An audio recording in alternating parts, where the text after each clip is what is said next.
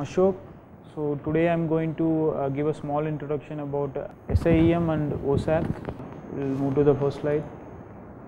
So basically, uh, security information and event management is a term used for uh, software and product services which combines security information management and security event management. These are of two parts and it combined part we name it as security information and event management. Um, this system basically sits in your network and it gets all the logs and uh, all the alerts generated by the uh, systems and an do analysis on it and then create events alerts based on those logs.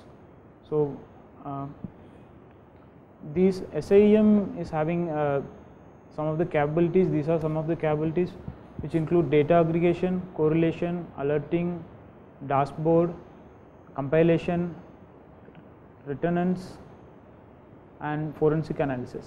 First we will see what is data aggregation. Data aggregation uh, is the process of collecting is the process of collecting logs from various systems uh, in your network. Uh, basically those systems no need to be homogenic uh, in real time it's going to be heterogeneous so logs can be coming from your systems your servers uh, your local servers your uh, uh, switches routers. So all these logs will be collected in a centralized place and these logs will be aggregated and the correlation between these logs will be analyzed and uh, based on those analysis decisions will be made. And correlation is the process of uh, relating events between two systems. Let's say you have a router and a server. uh, and route uh, goes through the router to the server. So uh, there is going to be a, a common uh, package and and relation between these two things. So uh, these will be compared and sometimes uh, in botnet kind of a network so many botnets will do the similar kind of process. So in that cases we can um, we can detect uh, the botnet cases. So that is one of the property and alerting uh, let's say if, if someone started attacking your system like your server on uh, SSL uh, port 443 so in that case you need to know what attack is going on and those process will be logged into the server and the server will uh, send, it, sends its data to the SIEM uh, center. Basically it's another system which runs. So those logs will be analysis and we have to uh, there might be already some alerts which is written by default. Those will create alerts. These alerts will be uh, monitored by the system admin and he will take necessary actions. Sometimes it will be automated. And dashboard is a kind of a, a web user base interface or you can send you can say a centralized interface where you can see all the data collection analysis and the action taken alerts and a complete view of your security systems. And compilation is the process of creating a report basically for auditing. Uh, a open like a standard report. And return end is the process of storing your log data in a long term storage. See uh, logs are going to be generated every second and it's going to be very huge. Terabytes of logs will be generated in every day. In huge network it's going to be huge. And these log need to be stored. We are storing this because of uh, like say if, if an attack happens. So it's not necessary that you you could have directly you could have immediately spotted the attack. Sometimes it happens that it's a new attack which is unknown and after the attack is happened or after the damage is done you need to know how it happens. So you need to have the logs. So unless you have the logs stored in your system you cannot do that. That is where the forensic analysis do. So basically you store these logs and then these logs should be searchable and searchable based on our requirements.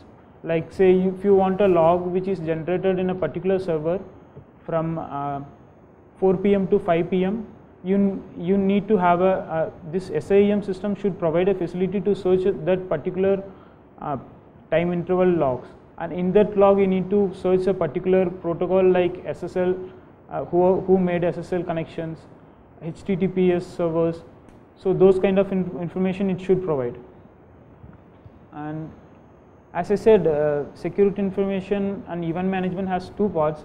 The first part is security information management and second part is security event management.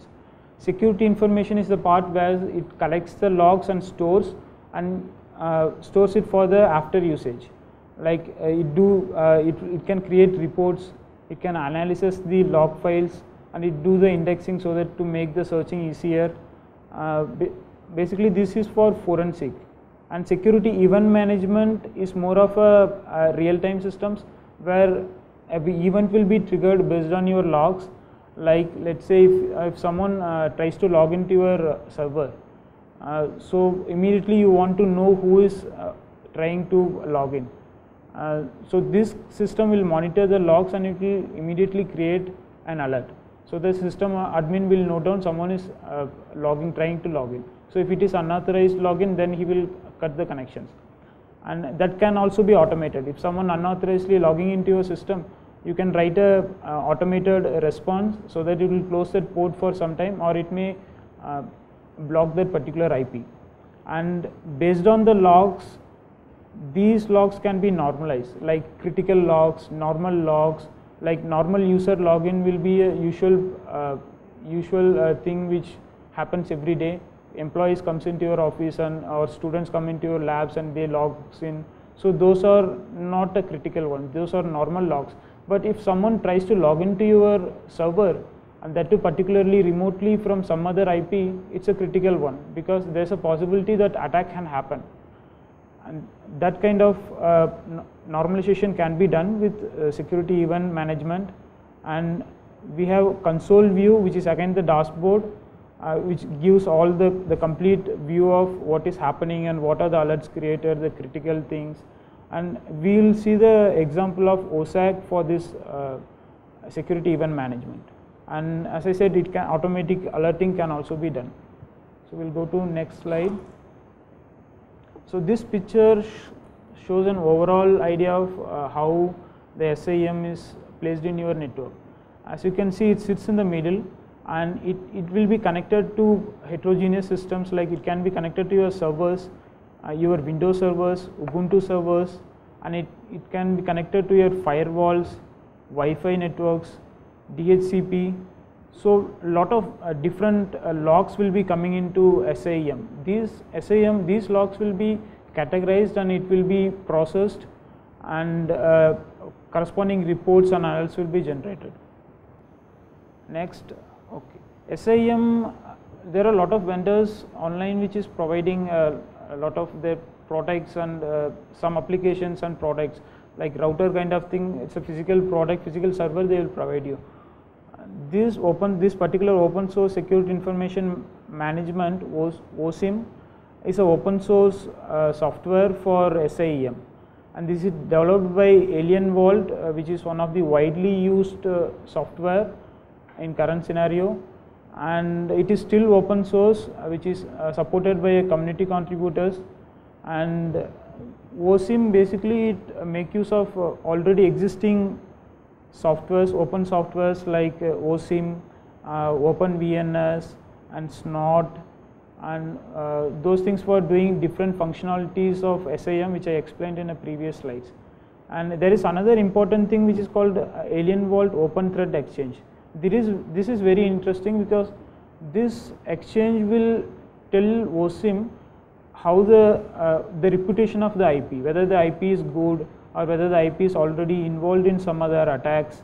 So things like that will be uh, shown. This is basically happen like uh, from all the installation of OSSIM uh, the data will be collected in a centralized system. Let's say if uh, some attacks happen in USA uh, in California or somewhere and uh, those images those logs will be collected in the centralized system and if that attack is confirmed then that system reputation will be decreased. So if that happens so many times then the IP address reputation will be so low uh, and the next time when whenever this when, whenever the same connection or some some connection goes into some other network where OSSIM is installed, it will alert the admin that this is a, the reputation of this IP is less and there is a possibility of attack. And it is done by crowdsourcing, collecting information from various sources. And you can visit this website to get to know more about this open threat exchange. We'll move to next slide. This one shows a basic architecture of OSSIM where uh, you can see lot of open source uh, open source softwares are sitting in. And uh, you, you uh, it does all the it does all, all the requirements for uh, SIEM to meet the SIEM requirements like uh, data policies it have the correlation of logs it will uh, do the risk analysis taxonomy things. So first we need to once the OSSIM is installed in your system it will it we it need to detect what are the pre-existing what are the systems which is connected. Uh, how many uh, uh, how many systems you have connected how many routers you have connected. Basically the components of the networks has to be detected. So it use nmap for asset uh, discoveries assets is nothing but your systems and router which is connected in that network where OSSIM is installed and netmap is open source uh, it is widely used for access discoveries and the another software uh, which is NTOP. N NTOP is a network based uh, software. Uh, it listens to the ports and it, it basically listens snips the uh, network connectivities and the packages in it. And if some kind of uh, unwanted behaviors happens it will alert. there's a there will be a set of rules in it uh, and it matches that rules. If that rule matches it will uh, do accordingly what it what the rule says like sometimes it is alert sometimes it is to uh, let it go like uh, without alert. And sometimes it's a normal uh, traffic so it won't alert some kind of thing so you can also insert new alerts in that and the next one is vulnerability vulnerability assessment so vulnerability assessment, this particular software uses OpenVAS, which is again a open source software. And uh, after you install OSSIM, it, it does a vulnerability assessment. Vulnerability assessment is nothing but it checks each and every component of your network and see the possible vulnerabilities. Sometimes your systems may not be up to date and the previous uh, software which is, I mean the older software may have a vulnerability like uh, let's say open uh, SSL 1.0.1 we have a, a, hot bleeding attack vulnerability and it, it is recently done so it, it's been updated and still many servers are running in this open source like making SSL open SSL 1.0.1 version which is not updated so uh, again it's possible for uh, uh, what I mean possible for do an attack on that so keeping a system updated will reduce lot of attacks, possible attacks. So those details, this software will tell you what are the so possible attacks that can happen. Next is threat detection. So here is where uh, the OSSEC comes in. Uh, OSSEC uh, does this thing like uh, it will collect all the data, basically the log details from all the systems and it has some set of rules and these rules will be uh, compared with the decoded logs and if something matches it will create an alert and again this alert is going to be of different ranges. So if, if some operation is usual those alerts are going to be usual alerts and it may not generate an alert. If uh, some alerts are so critical which happens very rarely those kind of uh, high alert will be generated where the system admin need to address these alerts and we'll say a little bit we'll see a little bit about OSSEC. Uh, it's basically a host based intrusion based intrusion detection system which is uses log log files of the systems. Uh, in every system or router or the component which is in network like firewall everything creates a log files. So these log files are very much useful if it is uh, present in a centralized systems. Like those logs you cannot uh, actually relate those log, logs in two different systems. Like say in a, in a, in network we have some uh, 250 systems and it's not easy to relate all the logs like for an example you want to have the logs which is generated from 4 o'clock 10 minutes to 4 o'clock 15 minutes. It's a huge data and we cannot manually do that. So these systems does the thing automated these things and it will give us a proper view of what is happening and what happened in the logs and if something serious happens it will alert. And as I said alerting it does a time based alert. If, if you, you can configure this OSSEC to create a alert for particular events. And it does a file integrity check like uh, let's say uh, in Ubuntu there is a uh, directory called bin which is used by the system. So usually those bin directory files will not be changed. It is used by the uh, system for running servers and executable files.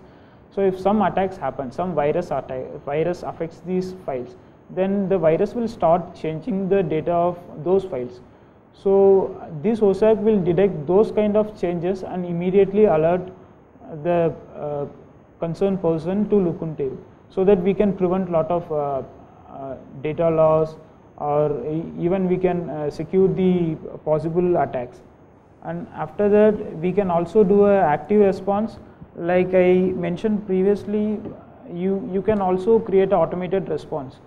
Like uh, if someone logs into your system unauthorized if he makes three times uh, like four times wrong password for root then you can block the system automatically by adding a rule in the firewall IP table uh, by using OSSEC. So this OSSEC is uh, works like the OS there is going to be OSSEC server. This server can be a single server or it can be a multiple server. Uh, usually it's go it will be a single server which high configuration which is cap which is capable of doing lot of computation and uh, with high network bandwidth and this server will be connected with other systems. Uh, in other systems, all in all the systems we will have a OSSEC agent. Uh, despite of what type of the system it is like if it is a Windows we have a separate window agent for that it's a Linux we have a window, uh, Linux agent for that.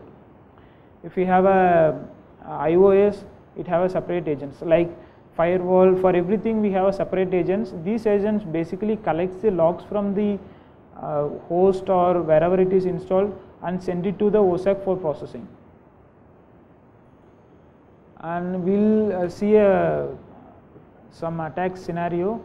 Let us say uh, someone in IIT Delhi uh, tries to uh, exploit the vulnerability which I mentioned SSL version 1.01 uh, and tries to make a heartbleed attack to IIT Bombay server and uh, let's assume we have a centralized SIEM installation where the open threat exchange uh, uh, information is available and we have open VAS and uh, which basically already alerted us what are the uh, vulnerabilities and what are the possible attacks.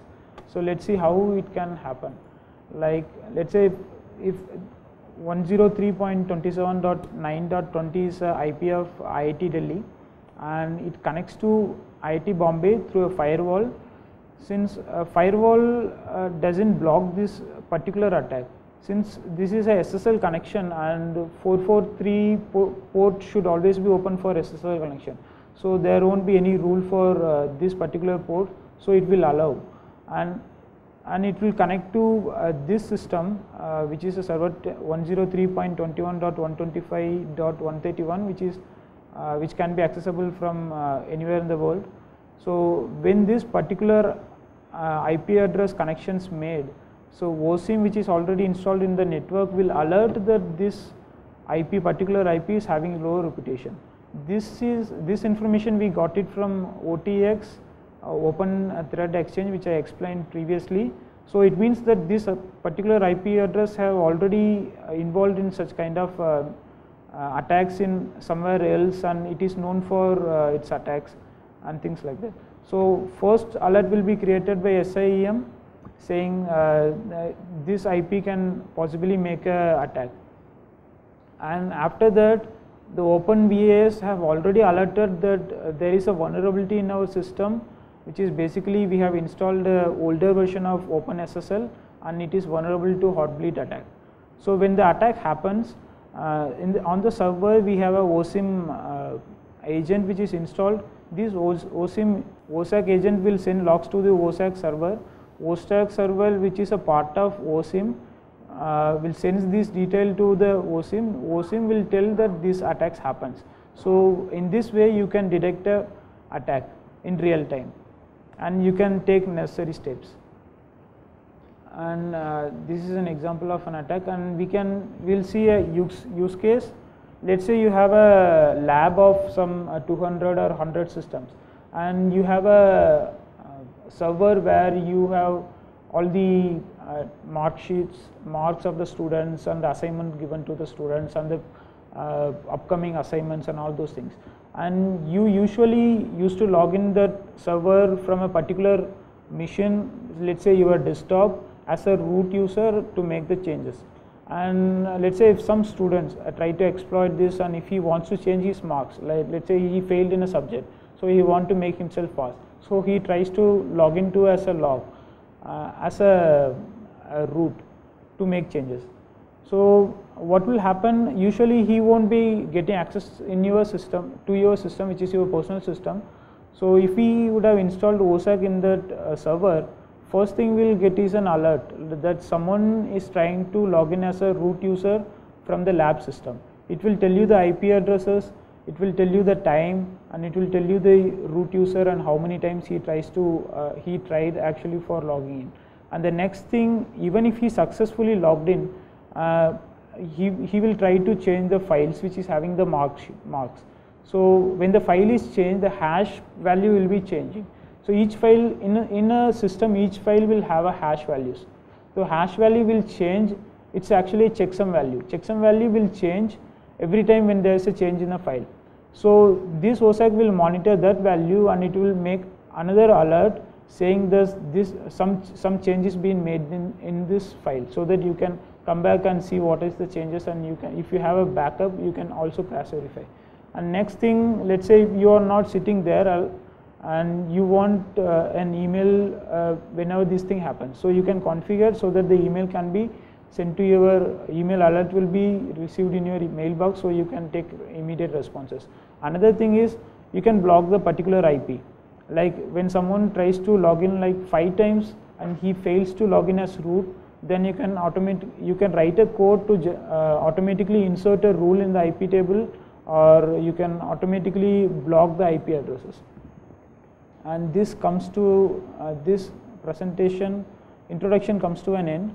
We will move on to the demo of OSSEC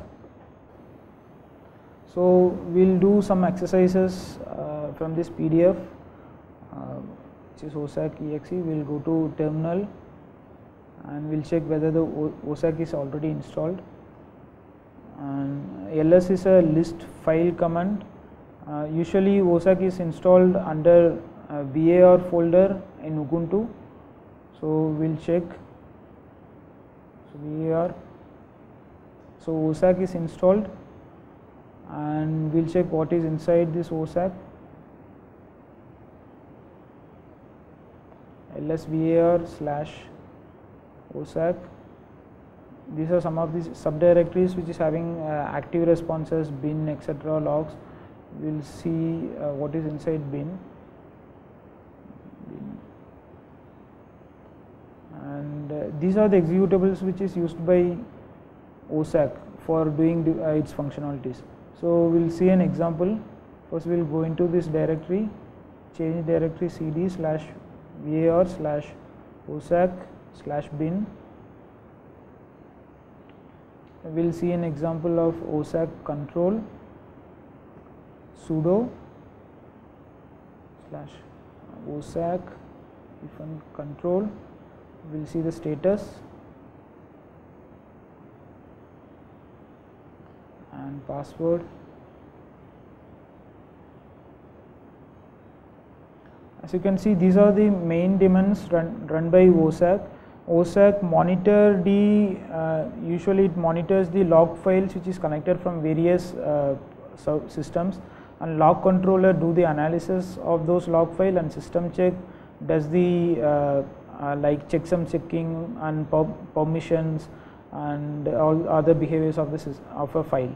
And analysis D does the analysis and see the correlation among the events or alert generated by them and mailD will be used for uh, sending emails. And execd is used for generating uh, active responses. And we will see.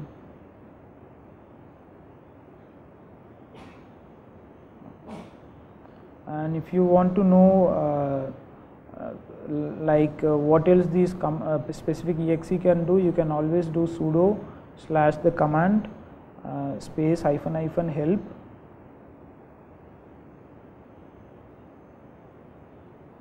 And you can see uh, we can do start stop restart uh, status enable and disable. In this in this demo we are going to use restart more often to restart the OSSEC services.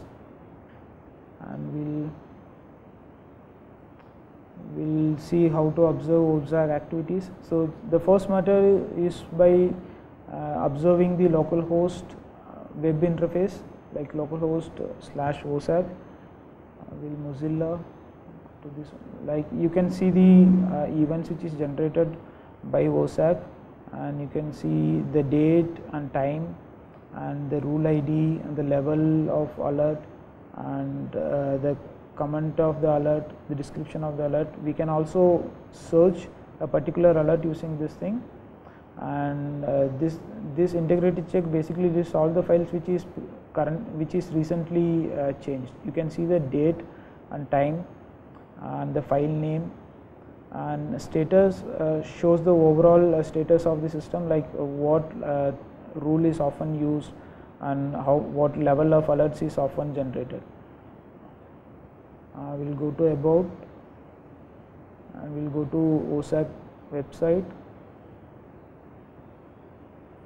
and uh, we will go to first step with OSSECs and this page have the basic detail you needed to uh, for working with OSSEC and we will go to uh, reference manual. This is the documentation of OSSEC where you can get all the details of how to manage and how to install, uh, how to change a rule, write a rule. We will go to main. And, and another method too is by observing the log files. So, the log file is present in one of the directory of OSSEC like OSSEC slash log slash alert slash alert log. So, we will see this and clear sudo tile tile function uh, uh, usually tiles the file it will print few uh, lost lost lines of a file so f will keep it printing. And you can see the alerts generated by OSSEC and basically these alerts on the alerts which you can observe from the web interface are same. Uh, so you can use any one of these things. Uh, let's see you can observe this. Like refresh. And the rule number 5501 and here also you will have 5501 previous one rule number 5402 5402 so you can observe any one of these things and keep the other closed. Close and the another thing is OSSEC logs. So OSSEC log have all the activities done by OSSEC like uh, uh, when the alert is generated and what generated and what happens when OSSEC is restarted and if you made some changes and if you get some errors so this file will be very much useful. Second you can use the tile slash f for uh, knowing the latest uh, errors or latest status of OSSEC and we will move to the exercise.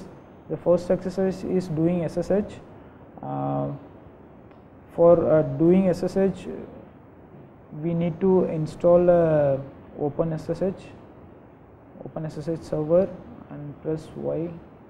For Ubuntu in, you can give apt install apt install OpenSSH uh, this is a package uh, which is used for installing OpenSSH servers. I will give the password. And press yes uh, continue the complete the installation for for doing uh, SSH we need to do some changes in the VM so we'll go to network network setting adapter change uh, attached to net to bridge adapter and change it to the ethernet if you are connected to ethernet cable and press ok.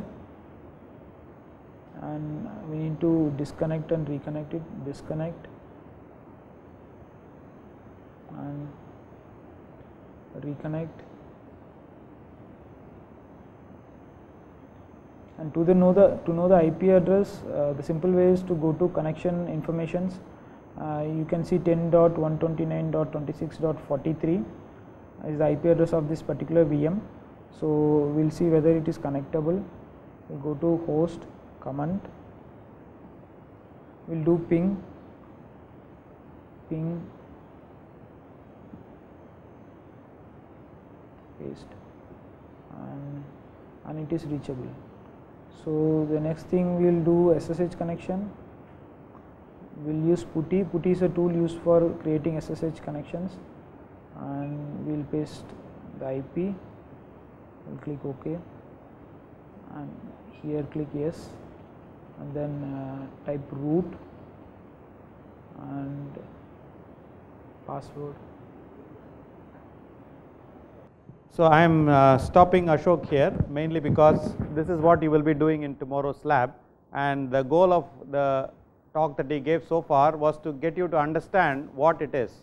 And let me just summarize in a minute uh, what he was trying to tell you that you are going to actually work with an installation of a software called OSSEC open source security analysis tool or whatever which is part of the bigger framework called OSSIM uh, security information management system and you will be asked to do many exercises. The PDF file, the, the video that he is showing you will be available to you in the lab. We won't have A-VIEW, we won't have direct interaction in each center, but your coordinators will be able to provide you this video where he has run through some of the steps.